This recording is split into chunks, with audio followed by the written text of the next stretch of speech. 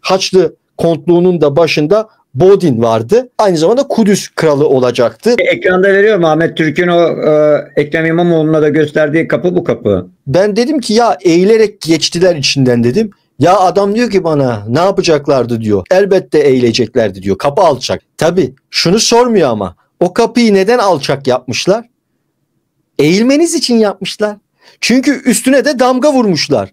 Dinler tarihini bilmeden konuşan boş insanlar var. Kardeşim elbette o kapıdan her geçtiğinde eğilmeye mecbursun. Adam senin cüce olduğunu düşünerek o kapıyı yapmamış. Adam o kapıyı sen ister istemez oradan geçiş yaparken eğil, hürmet et, onun senin üzerinde büyük bir saygı sembolü olduğunu kabul et. Zorunlu olarak kabul et diye böyle alçak yapmış bu kapıyı.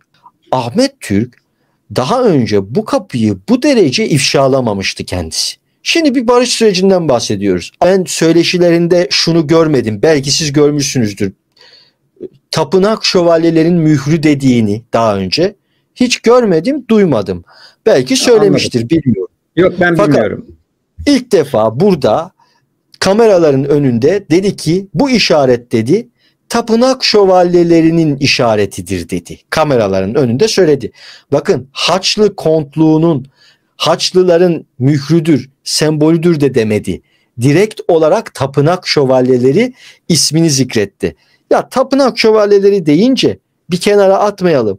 Bu tapınakçı meselesini bize, gündemimize kim sokmuştu diye soralım. Saadettin Tantan. Galiba 2000 yılındaydı. O zaman dedi ki tapınak şövalyeleri var burada bu ülkede dedi.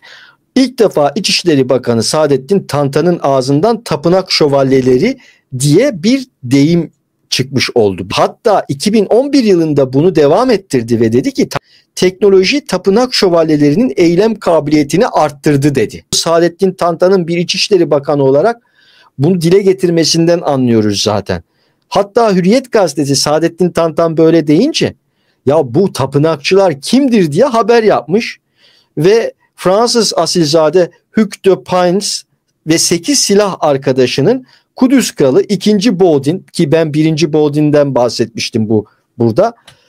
2. Baudin'e çıkıp hacıların yolda güvenliğini sağlamak ve kutsal yerleri korumak için silahlı papazlardan oluşan bir birlik kuralım diye önerisiyle bu tapınak şövalyelerin oluştuğunu dile getirmişti. Kral şövalyeleri Hazreti Süleyman'ın efsanevi tapınağını inşa ettiği bugün El Aksa Camii'nin yanındaki Kraliyet Sarayı'na yerleştirilir.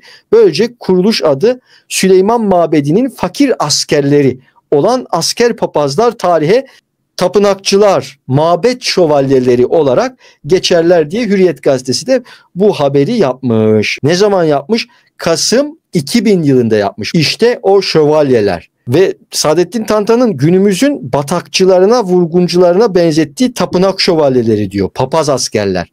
O dönem bu o kadar konuşulmuş ki FETÖ çok etkin olduğu için acaba İçişleri Bakanı Saadettin Tantan FETÖ'ye mi gönderme yapıyor? FETÖ'yü mü acaba tapınakçılar olarak yansıtıyor diye orada konuşulmuş. Sonra Saadettin Tantan'ın da ipi çekilmiş, fişi çekilmiş böyle anlatılıyor. Devlet içerisinde gizli yapılara ne yaptılar?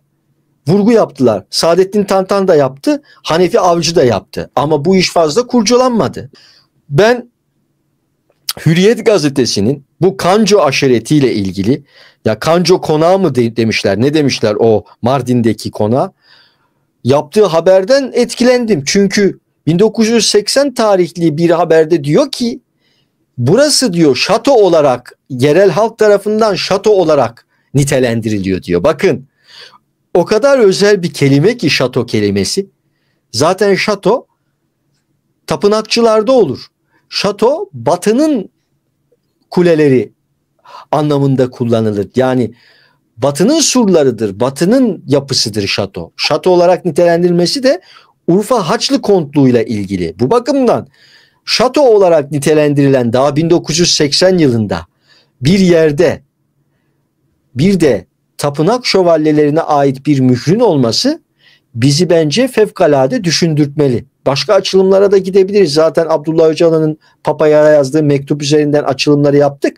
Saadettin Tantan üzerinden de devam ediyoruz ama anlayacağımız şey modern tapınakçıların şu anda çok etkili olduğu, açılım sürecinde etkilerinin muazzam olduğu, Abdullah Öcalan'ı Evet. serbest bıraktırmak için çok etkili çalıştıkları gerçeğidir. Osmanlı'nın paşa yaptığı aşiret lideri Gasri Ganco burayı inşa etmiş. Ama Çok doğru biliyorum. inşa ederken aslında mevcut bir binanın üzerine inşa edildiği gö- gözüküyor. Yani bu fotoğraflara bakınca da e, bunu görmek mümkün. Çünkü Ahmet Türk dedi ki burada bir zindan varmış dedi. Benim babam mı dedi, dedem mi dedi. Ee, bu zindana suçluları atarmış dedi. İmamoğlu da ya dedesi falan. dediği, dedesi dediği Gasri Ganco ama dedesi değil. Önce onu söyleyeyim. Değil değil Ee, evet ilginç evet. ifade edin bunu doğru. E, İlginç. E, Osmanlı'nın son Hamidiye alayları paşalarından olan Milan aşireti lideri İbrahim Paşa bu konağın son hakimi olmuş. İbrahim Paşa buradan ayrılırken de konağı kendi hizmetinde olan Hamidiye alayları komutanlarından biri olan binbaşı Hüseyin Ganco'ya bırakmış. Kastettiği dede bu Hüseyin Ganco'dur. Lakin Hüseyin Ganco Ahmet Türk'ün dedesi değildir. Ahmet Türk'ün babası Hacı Sinan ise Hüseyin Ganco'nun konağında çalışan bir oduncudur. Ganco'nun tek kızının adı Türkiye'dir ve Sinan ile Türkiye evlenir. Yani Ahmet Türk'ün annesinin adı Türkiye'dir. Özellikle bunu ifade etmek isterim. Oduncu Sinan ve karısı Türkiye soyadı kanunu çıkınca Türk soyadını alırlar. İlginç mesela. Ortak bir noktada buluşulmuş. Şöyle bakın Yani o dönemler aslında Kürt askerlerden, Kürtlerden oluşan birlikler. O zaman işte bakın Kürt askerlerden oluşan birlikler o dönem Osmanlı tarafından şöyle oluşturuluyordu. Bir mutabakat hazırlanıyordu. Sen benim burada ağalığımı, paşalığımı ilan et. Bunun karşılığında ben senin otoriteni tanıyayım gibi bakın bir feodal anlaşma yapılıyordu. Osmanlı'nın zayıf olduğu dönemde bunlar bu ağalar bu şekilde anlaşma yapıyorlardı. Osmanlı da bunlarla anlaşarak bunlara bir paşalık veriyordu. Osmanlı zamanında vermiş. Ardından o paşa başka yerlere gitmiş. Sonradan bunun devredilmesi Cumhuriyet'le birlikte bir şekilde gerçekleşmiş ve bu iş Ahmet Türk'e kalmış. Çok harika. Ve zaten soy ismini Türk olarak alması da öyle baskıyla zorlamayla olmamış. Bazı izleyicilerimiz diyor ki tabii canım diyor Kürtlere baskı yapıldığı için diyor Ahmet Türk'e zorla diyor bu soy ismini vermişler diyor. Ya peki bu Türkiye isimli hanımefendiye de mi zorla Türkiye ismini vermişler? Abdullah Öcalan Ankara'da kimlerle birlikte hareket ediyordu? Uğur Mumcu'nun öldürülme sebeplerinden birisi neydi biliyor musunuz? Abdullah Öcalan'ın MIT ajanı olduğunu biliyordu Uğur Mumcu ve bunu ilk defa dillendirmişti. O dönem çok tehlikeliydi bunu söylemek. Abdullah Öcalan'ın MIT ile bağlantısı üzerine röportajlar verilmiş. Belki sizin de haberiniz vardır. Bu arada Abdullah Öcalan kendisini Hazreti İsa gibi görüyor. Davamın aydınlatılmasında Avrupa uygarlığının temel etkenlerinden biri olan çarmıha gerilme öyküsünü doğru çözümlenmesi önemli rol oynamaktadır diyor.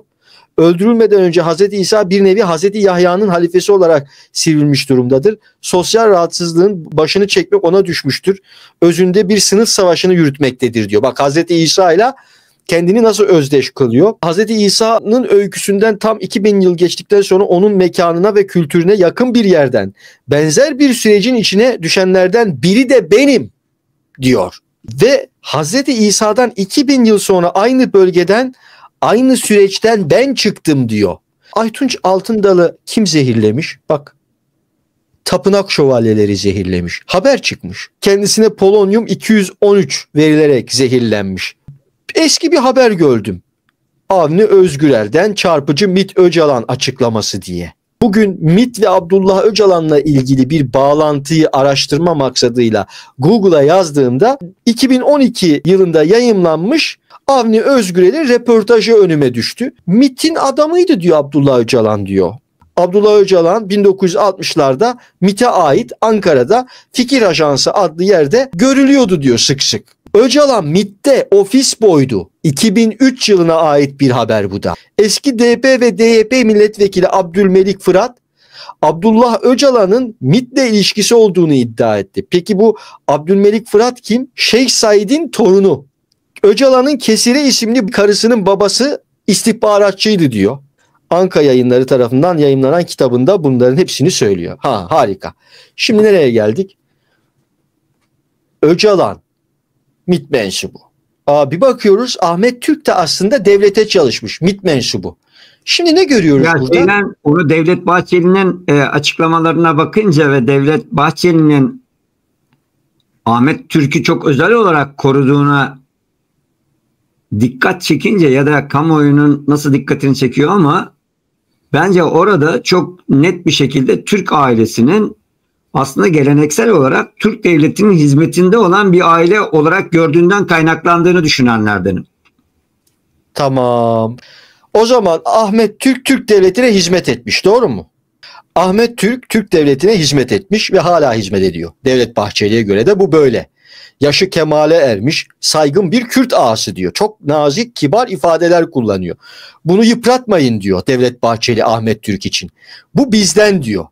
Peki Ahmet Türk sizden. Ahmet Türk'e göre de Abdullah Öcalan onlardan. Çünkü Ahmet Türk de kimi korudu? Abdullah Öcalan'ı korudu o dönem 1980'li yıllarda.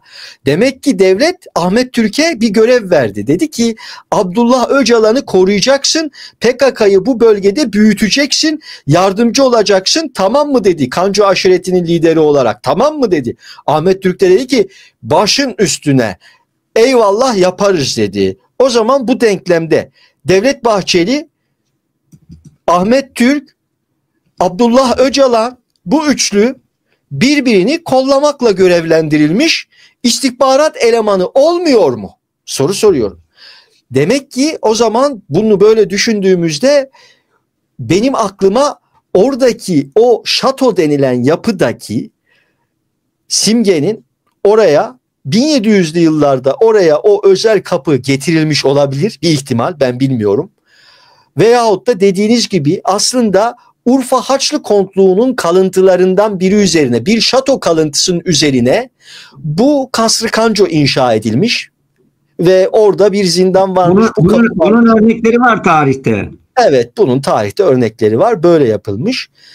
Ve ben şöyle diyorum aslında hani tencere yuvarlanmış kapağını bulmuş derler ya bence de o taş yuvarlanmış kapağını bulmuş yani öyle güzel bir yere tam monte edilmiş. En sonunda da bu taş Ahmet Türk'e kalmış. Ben şimdi bu kardeşliği görünce Ahmet Türk, Devlet Bahçeli hani biraderlik derler biliyorsun mason localarında buna kardeşlik. Birader kelimesi daha fazla kullanılır. Ve kalkıp da e, Abdullah Öcalan, Devlet Bahçeli e, ve tabii ki Ahmet Türk dayanışmasını gördüğüm zaman benim için kusura bakmayın o bölgedeki 10 tapınak şövalyesi nişanı Ahmet Türk diyor bunu ben de söylemiyorum komplo teorisi değil. Bana gerçekten çok bütünleştirici geliyor. Ben vereyim, Olayı- ekranı Erkan Türk'ten.